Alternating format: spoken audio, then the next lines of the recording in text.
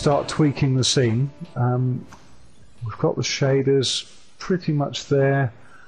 Maybe one thing I'd like to do with the floor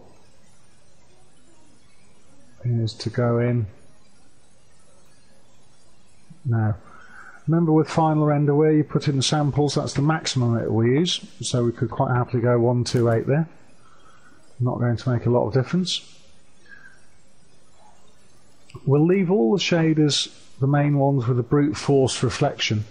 So I want to show you how to tweak that and get a bit more speed out of it. So to do that, we'll go into the ray tracing tab and we'll start playing in here. But first, into the accent color. Again, 64 samples. But what we'll do is advanced rendering options. We'll maybe change that to 10% cutoff, two bounces. So culling that there. In the Chrome, advanced rendering options, we can change the maximum distance. So if we put in 3 meters and it fade to an end color.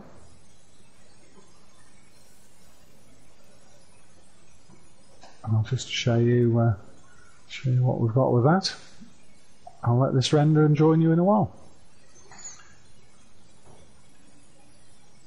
I think what we'll do now is pretty happy up here, that's all looking good. The floor's a little too reflective for my taste there. So I'll go straight in into the floor. Maybe drop that down 0.25. We'll leave the samples as they are. Okay, one area now where it's very handy to tweak the render times. Click on the info stamp into here and type in percent render time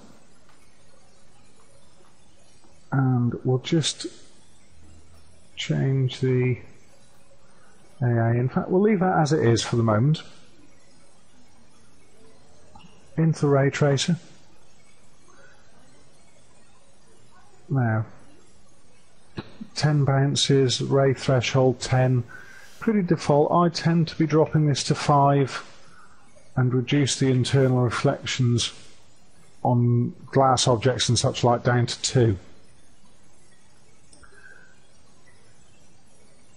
So going into the accelerator engine, settings that seem to work well for me generally with interiors is 128 on the depth, which is maximum, and if you reduce the balance to zero, that turns it into automatic mode. And the AMRS the adaptive multi-ray sampler. This controls the sampling for blurries, anti-aliasing, area shadows, the whole lot. This is uh, this is one area that's great for playing with and can reduce your render time significantly. drop minimum samples down to 8 and we'll just save our scene.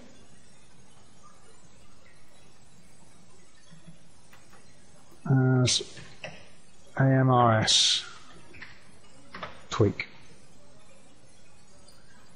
Okay, let's hit render. We'll come back and see what the render time's like. Right, we've got 11 minutes 49 seconds from a lock GI solution.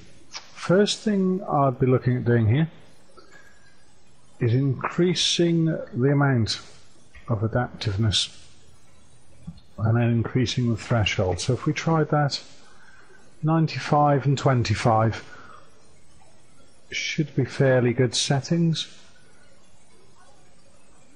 And we'll render again.